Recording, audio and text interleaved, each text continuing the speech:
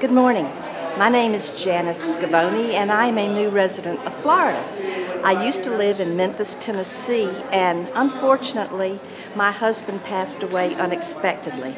I had no family up in Memphis, so all my children are Gators, and they're down here in Florida, and my grandchildren, future Gators. So I said, Florida, here I come.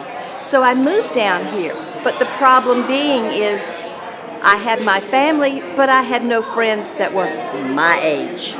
So my daughter, that's a member of the Y, said, Mom, you need to come to the Y. That's what's going to help you.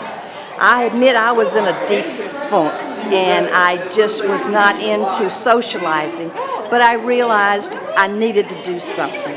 So my daughter brought me to the Y.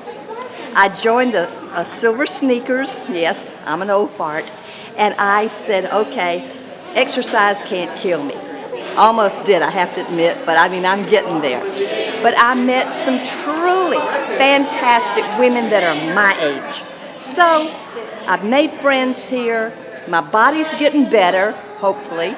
And I just love the Y because it not only has helped me physically, but it's helped me emotionally because I've made friends that outside of the Y we go to the movies, we go to lunch, we do things together. And I can't begin to tell you how much this has done for me. Thank you.